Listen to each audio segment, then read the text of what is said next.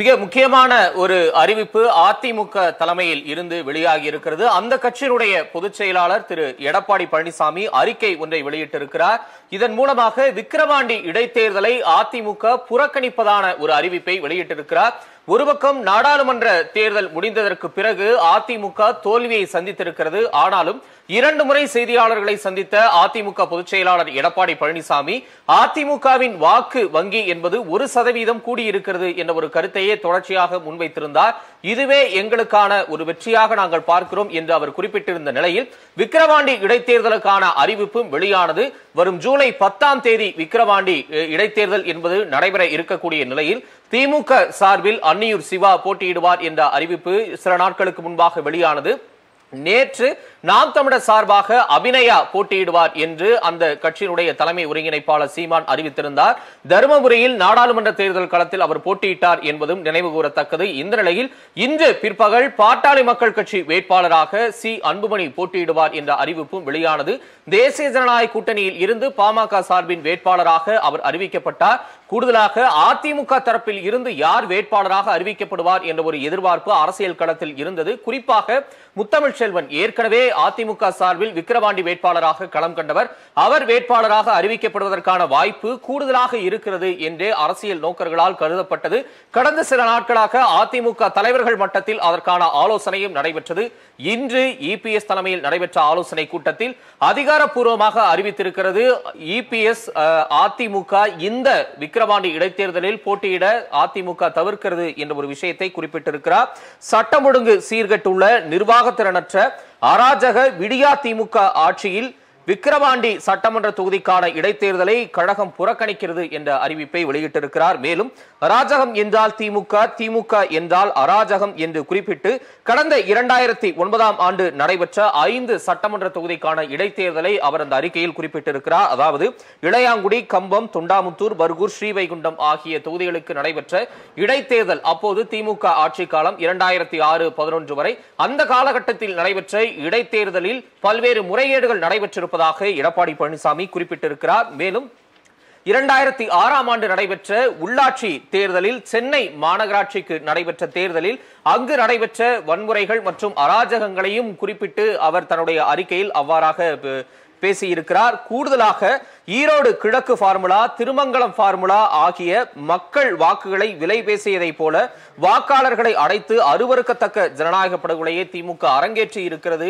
என்றும் அவர் காட்டமாக விமர்சித்திருக்கிறார். இந்த நிலையில் இந்த முறை நடைபெறக்கூடிய விக்கிரவாண்டி இடைத்தேர்தலை தான் புறக்கணிப்பதாக இபிஎஸ் அறிக்கை வாயிலாக குறிப்பிட்டிருக்கிறார். மேலும் விடிய அரசின் அமைச்சர்களும் திமுகவினரும் ஆட்சி அதிகாரத்தை தவறாக பயன்படுத்துவதோடு பணபலம் படைபலத்துடன் பல்வேறு அராஜகங்களை வன்முறைகளை கட்டவிழ்த்து விடுவார்கள் என்பதாலும் மக்களை சுதந்திரமாக வாக்களிக்க விடமாட்டார்கள் என்பதாலும் தேர்தல் சுதந்திரமாகவும் நியாயமாகவும் நடைபெறாது என்பதாலும் இந்த விக்கிரவாண்டி சட்டமன்ற தொகுதிக்கான இடைத்தேர்தலை அனைத்திந்திய அண்ணா திராவிட முன்னேற்றக் கழகம் புறக்கணிக்கிறது என்று குறிப்பிடுவதாக அவர் இந்த அறிக்கையில் குறிப்பிட்டிருக்கிறார். மேலும் எதிர்வரும் இரண்டாயிரத்தி இருபத்தி ஆறு சட்டமன்ற பொதுத் தேர்தலில் புரட்சித் தலைவர் எம்ஜிஆர் புரட்சித் தலைவி அம்மா ஆகியோரின் நல்லாசியோடும் தமிழக மக்களின் பேராதரவோடும் மக்கள் நலன் ஒன்றை மட்டுமே குறிக்கோளாக கொண்டு அதிமுக மக்களாட்சி மீண்டும் வளர்வது உறுதி என்பதை இந்த நேரத்தில் தெரிவித்துக் கொள்வதாகவும் அவர் குறிப்பிட்டிருக்கிறார்.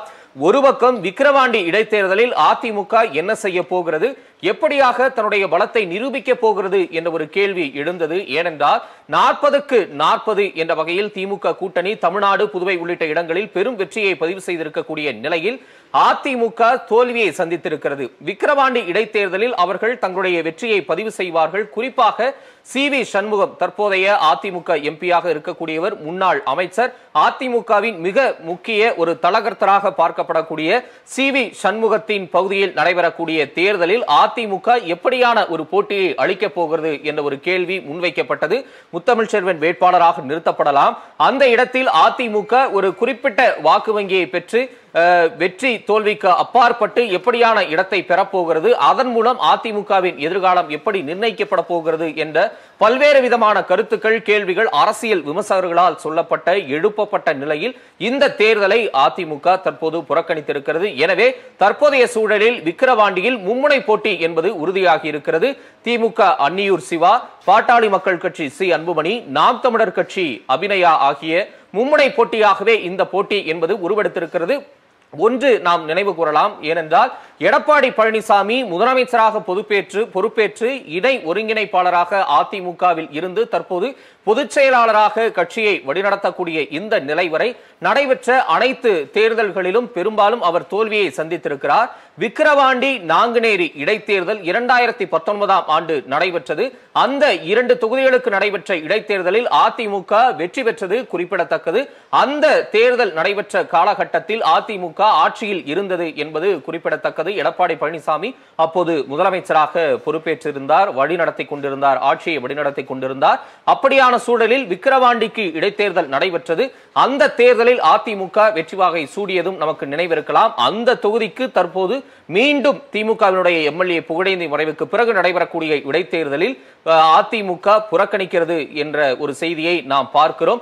பாட்டாளி மக்கள் கட்சி வெகு வேகமாக வேட்பாளரை அறிவித்து களப்பணி காண தொடங்கிவிட்டது. இரண்டு மூன்று நாட்களுக்கு முன்பாகவே திமுக தரப்பில் இருந்தும் பணிக்குழு அறிவிக்கப்பட்டு அங்கு களம் கண்டு மிக வேகமாக தேர்தல் பணி நடைபெற்று வரக்கூடிய நிலையில் தற்போது எடப்பாடி பழனிசாமி தலைமையிலான அதிமுக இந்த தேர்தலை புறக்கணித்திருக்கிறது. நாடாளுமன்ற தேர்தல் தோல்விக்கு பிறகு மீண்டும் மீண்டெடுவதற்கான ஒரு வாய்ப்பாக ஒரு தரப்பால் பார்க்கப்பட்ட நிலையில் விக்கிரவாண்டி இடைத்தேர்தலை அதிமுக புறக்கணித்திருக்கிறது.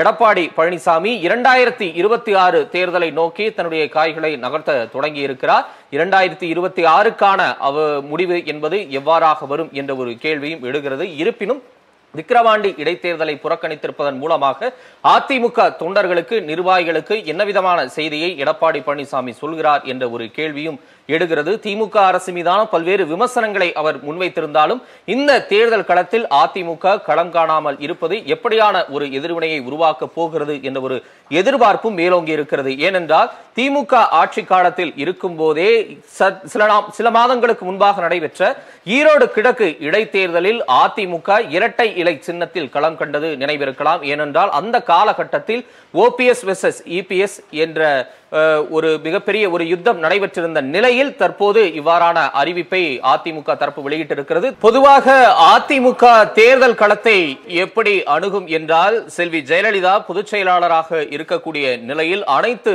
தேர்தல்களிலுமே முதற்கட்டமாக களத்தில் இறங்கக்கூடிய ஒரு கட்சியாக அதிமுக இருந்து வந்திருக்கிறது என்றே இதற்கு முன்பாக நடைபெற்ற பல அரசியல் கள தேர்தல் கள நிகழ்வுகளில் மூலமாக நாம் அறிய முடியும். குறிப்பாக கூட்டணி கட்சிகளிடம் கலந்தாலோசிக்காமலேயே வேட்பாளர் பட்டியல் தொகுதி பட்டியலை வெளியிட்டு பின்னர் திரும்ப பெறப்பட்டு கூட்டணி கட்சிகளோடு கலந்தாலோசித்து விட்டு செல்வி ஜெயலலிதா அப்போது திருத்தப்பட்ட பட்டியலை வெளியிட்ட நிகழ்வுகளையும் கூட நாம் கடந்த காலத்தில் பார்த்திருக்கிறோம். அப்படி தேர்தல் களம் என்றால் முதலாவதாக களமிறங்கக்கூடிய ஒரு கட்சியாக அதிமுக இருக்கிறது என்றே அரசியல் பார்வையாளர்கள் தங்களுடைய கருத்தாக முன்வைக்கின்றனர்.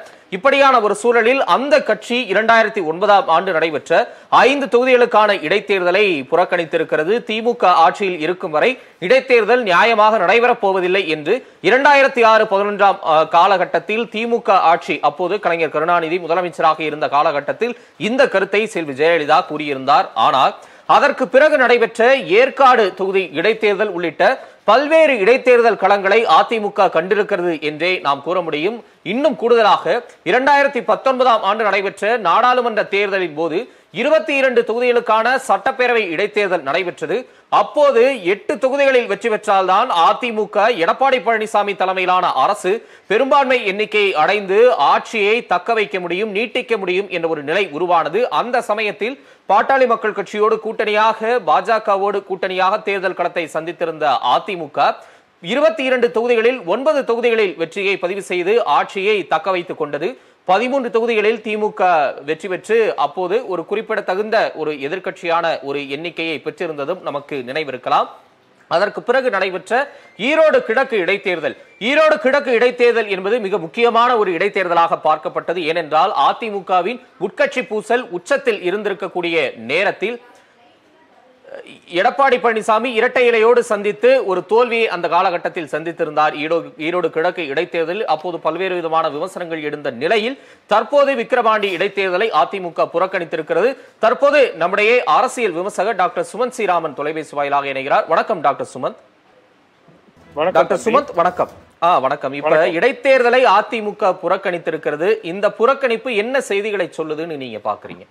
தவறான முடிவுங்க. அது புறக்கணித்திருக்க கூடாது பிரகாஷ் புறக்கணித்திருக்க கூடாது அவர்கள் போட்டியிட்டு இருக்க வேண்டும். என்ன முடிவு வந்திருந்தாலும். ஆனால் இது வந்து தொண்டர்களுக்கு இன்னும் ஒரு ஏன்னா அது ஒரு திரு சி பி சண்முகம் அவர்களுக்கு பல ஐ மீன் ஒரு ஒரு வலுவான ஒரு பகுதி அது.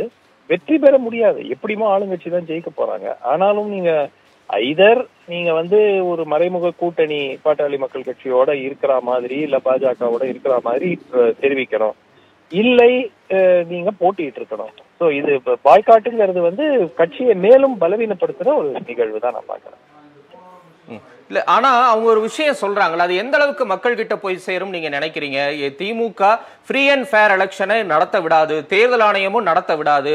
சோ அதனால இதுல போட்டியிட்டு எங்களுக்கு என்ன யூஸ் ரெண்டாயிரத்தி இருபத்தி ஆறுல நாங்க முழு பலத்தோடு களமிறங்கி நாங்க ஆட்சி அமைப்போம் இந்த கருத்து மக்கள் கிட்ட எப்படி போய் சேரும்? ஏற்கனவே பல தோல்விகளை சந்திச்சாச்சு.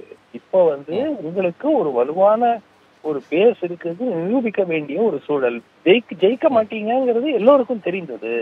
ஆளுங்கட்சி தான் ஜெயிக்க போகுது. அது அதனால வந்து மக்களுடைய உடனே வந்து ஓ, அதிமுக விக்கிரவாண்டியில தோத்துருச்சு. அதனால அந்த கட்சி பலவீனமாயிடுச்சுன்னு சொல்ல போறது இல்ல. பட் தொண்டர்களுக்கு நீங்க அந்த களத்துல நிக்கணும்ல. அதுக்கே நீங்க உங்களுக்கு அந்த அளவுக்கு ஒரு உறுதி இல்லைன்னாக்கா அப்புறம் எப்படி மக்கள் தொண்டர்கள் எப்படி நம்புவாங்க இந்த தலைமையை? இப்ப இதோட அனுகூலம் யாருக்கு போகும்னு நினைக்கிறீங்க? இப்ப அதிமுக போட்டியிடல இப்ப பாமக நாம் திமுக வேட்பாளர் அறிவிச்சிருக்காங்க. யாருக்கு போகும்னு நினைக்கிறீங்க இந்த அனுகூலம்? அதிமுகவினுடைய வாக்குகள் பாஜக கூட்டணி கட்சியான பாமகக்கு செல்வதற்கான வாய்ப்பு இருக்கிறது. அதுதான் நடக்கக்கூடிய ஒரு சாத்தியம்.